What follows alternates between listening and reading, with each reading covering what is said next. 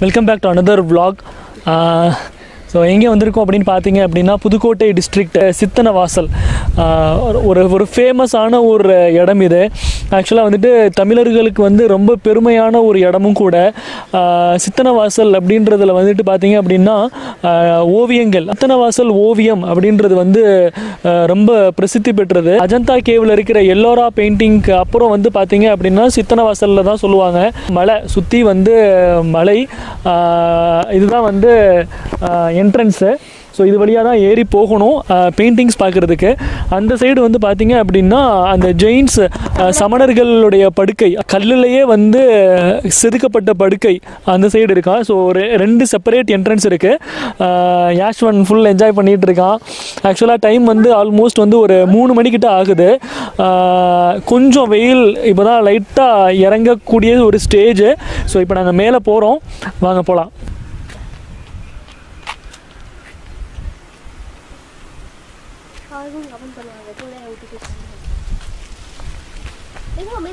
பைய பைய பைய ஓடக்கூடாது ஓடக்கூடாது ஆச்சி நீ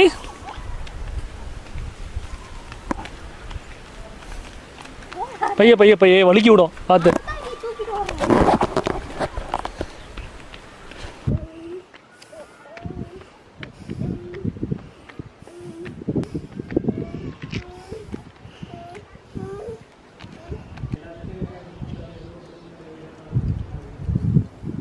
ஆக்சுவலாக எனக்கு பின்னாடி தெரிகிற குகை தான் வந்து அந்த பெயிண்டிங் இருக்கக்கூடிய குகை.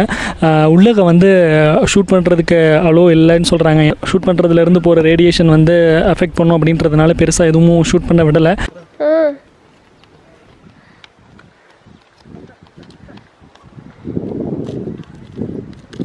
பைய பைய பைய பைய. வா யாச்சி அம்மாட்ட வா அம்மாட்ட வா பூச்சி இருக்கு. அம்மா பூச்சி கடிச்சிருச்சு இப்பதான் வா. ஆ இங்க வாடி அங்க பூச்சி இருக்குடி. பார் அம்மா பூச்சி கடிச்சிருச்சு பார். ஆ. உட்காந்துரு எல்லாம் உன்னையும் கடிச்சிரும். ரத்னவாசல் ஓவியம் வந்து ஆயிரத்தி ஐநூறு வருஷம் பழமையான ஒரு ஓவியம். ஸோ அந்த ஓவியம் வந்து எப்படி உருவாக்கப்பட்டதுன்னு பார்த்தீங்க அப்படின்னா இந்த ஊரை சுற்றி இருக்கக்கூடிய இலை தலைகளை வந்து எதுவுமே ஆர்டிஃபிஷியல் பெயிண்ட் கிடையாது. இலை தலைகளை வந்து இது பண்ணி அந்த பெயிண்ட் பண்ணியிருக்காங்க. இந்த சித்தனவாசல் ஏரியா ஃபுல்லாக வந்து பார்த்தீங்க அப்படின்னா சமணர்கள் தான் வந்து அதிகமாக வந்து இருந்திருக்காங்க. அதுக்கப்புறமா வந்து சமணர்கள் வந்து இங்கேருந்து இடம் பெயர்ந்திருக்காங்க. தாமரை குளத்தை வந்து மையமாக வச்சு ஒரு பெயிண்டிங் இருக்குது அந்த பெயிண்டிங்கில் வந்துட்டு ஏகப்பட்ட விஷயங்கள் வந்து சொல்கிறாங்க ஸோ அங்கே இருக்கிற ஒரு ஒருத்தவர் வந்து எக்ஸ்பிளைன் பண்ணுறாரு என்னென்னா அதில் இருக்கிற முக்கால்வாசியான பெயிண்டிங் வந்து போச்சு. ஃபுல்லாக ஏற்கனவே. அதாவது நைன்டீன் ஃபிஃப்டிக்கு அப்புறம் தான் வந்து இந்த இடத்த வந்து நம்ம கவர்மெண்ட் வந்து அண்டர்டேக் பண்ணியிருக்காங்க அதுக்கு முன்னாடி வந்து இது ஓப்பன் ஏரியா யார் வேணாலும் வரலாம் யார் வேணாலும் போகலாம் பாதி ஓவியங்களை வந்து கையை வச்சே சிதைச்சிருக்காங்க. பாதி ஓவியங்களை நம்ம நம்ம ஆளுங்க வந்து கோயிலில் போய் நம்பரு பேரெல்லாம் எழுதுகிற மாதிரி அப்படி கிறுக்கியே வந்து பாதி ஓவியங்களை வந்து சிதைச்சிருக்காங்க. அதாவது ஒரு விஷயத்தோட அருமையே தெரியாமல் இவ்வளவுத்தையும் பண்ணுறது ஆயிரத்தி ஐநூறு வருஷன்றது வந்து ஒரு சாதாரண பீரியட் கிடையாது. அதுக்கப்புறமும் வந்து இந்த பெயிண்டிங் எல்லாம் வந்து இவ்வளவு தூரத்துக்கு நிலைச்சிருக்கு.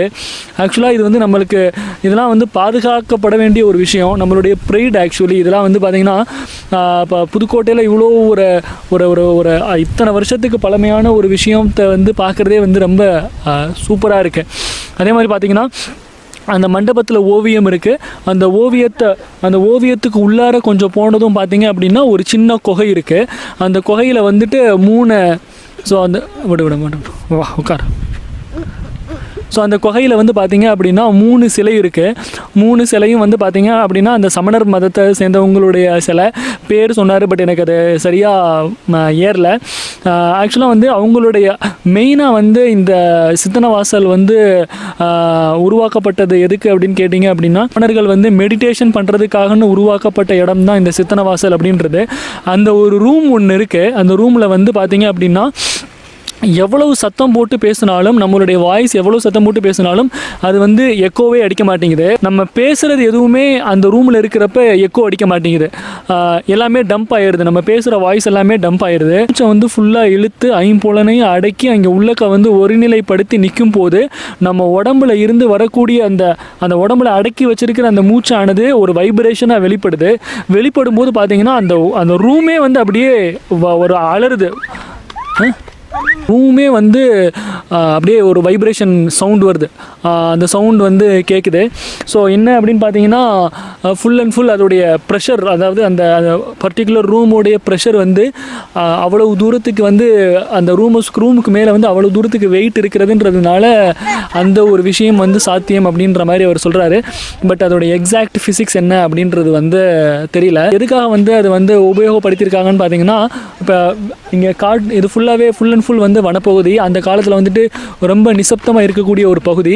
ஒருத்தவங்களை வந்து கூப்பிடுறதுக்கு வந்து அது வந்து உபயோகமாக இருந்திருக்கும் அப்படின்ற மாதிரி அவர் சொல்கிறாரு இப்போ நம்ம கத்தி கூப்பிட்டு என்னதான் கத்தி கூப்பிட்டாலும் வெளியில் கூட கேட்காது. பட் அந்த வைப்ரேஷன் அப்படின்றது வந்து கீழே வரைக்கும் கேட்கும் போல். அந்த வைப்ரேஷன்றது என்னன்னு கேட்டிங்கன்னா நம்ம மூச்சை அடக்கி ஒருநிலைப்படுத்தி வச்சு நம்ம உடம்புல இருந்து வெளியேறக்கூடிய அந்த வைப்ரேஷன் வந்து அந்த ஒரு இதாக கேட்குது நம்மலாம் என்ன ஃபிசிக்ஸ் படித்து என்ன பிரயோஜனம் அப்படின்றது தெரில ஆயிரம் வருஷத்துக்கு முன்னாடி வந்து அவங்களுக்கு இருக்கிற அறிவுலலாம் காவாசி கூட நம்மளுக்கு இல்லைன்னு தான் சொல்லணும். நம்மளுக்கெல்லாம் அறிவு இல்லை அப்படின்றதுனால தான் அவ்வளோ தூரத்துக்கு உருவாக்குன ஒரு விஷயத்தை வந்து இப்படி பாதி இதை நாசம் பண்ணி வச்சுருக்கோம். ஆக்சுவலாக வந்துட்டு ஒரு சில விஷயங்கள் வந்து போகும்போது கொஞ்சம் கவனமாக இருங்க. இந்த செவத்தில் வந்து நம்பர் எழுதுறது செவத்தில் கிறுக்கிறது அதெல்லாம் வந்துட்டு ஒரு நல்ல ஒரு விஷயத்த பார்க்குறதுக்கே அவ்வளோ கஷ்டமாக இருக்குது அந்த செவத்தில் அவ்வளோ பெரிய அழகான ஒரு பெயிண்டிங்கில் போய் நம்பர் எழுதி வச்சுருக்காங்க. போய் பேர் எழுதி வச்சுருக்காங்க. எவ்வளோ கஷ்டப்பட்டு அதை வந்து பாதுகாத்து வச்சுருக்காங்க. அதை போய் வந்து இப்படி நாசம் பண்ணி வச்சுருக்காங்க. ஸோ அந்த மாதிரியான விஷயங்களெல்லாம் கொஞ்சம் பா அவாய்ட் பண்ணுங்கள் ஏன்னா பார்க்கும்போது ரொம்ப கஷ்டமாக இருக்குது ஏன்னா ஒரு ஒரு ஒரு ஒரு முக்கால்வாசி பெயிண்டிங் வந்து இல்லாமல் போயிடுச்சு ஸோ இந்த மாதிரியான விஷயங்களை மட்டும் கொஞ்சம் அவாய்ட் பண்ணுங்க.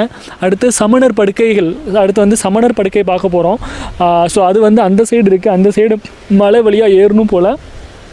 யாஷ்வன் வந்து ஓப்பன் ஸ்பேஸ் கிடச்சிருச்சுன்னா யாஷ்வனை வந்து பிடிக்கவே வேணாம். ஃபுல்லாக என்ஜாய் பண்ணிக்கிட்டு இருக்கான். மலையில் வந்து மேலே ஏறுறதும் கீழ்றதும் வெயில் தான். பயங்கர வெயில் ஆக்சுவலி அரௌண்ட் ஒரு ஃபோர் ஓ கிளாக் கிட்ட ஆக போகுது. ஸோ நாங்கள் அதை போய் பார்த்துட்டு நாங்கள் இங்கேருந்து கிளம்புறோம். யாஷ்வன் வா போமா